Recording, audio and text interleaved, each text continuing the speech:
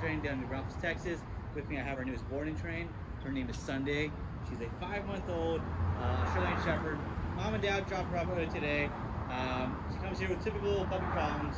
She did just complete our puppy classes over there at the San Antonio location, so she does know a couple commands. None of the well, she's not really efficient in any of them, but she has heard these commands before. Um, Mom and Dad said she likes to pull on the leash a little bit at home, likes to eat stuff off the ground, and uh, doesn't have much of a recall. So we'll definitely get her squared away these next 15 days. Uh, let's see if she retained any of that information from, from puppy class. All right, Sundae, come, come. That's a good girl. Yeah, woo. All right, can you sit? You know, sit. Sit. Good. That's awesome. How about down? You know, down. Ooh, that's great. Okay. so not much stability. I can kind of see what mom and dad are talking about. She does. It looks like she does know that command, um, but she didn't hold it really long at all. Let's go for a walk. Come on, Sundae. Woo! Let's go for a walk. Good girl. Come, come. Woo! Let's go for a walk. Good girl. Awesome. All right.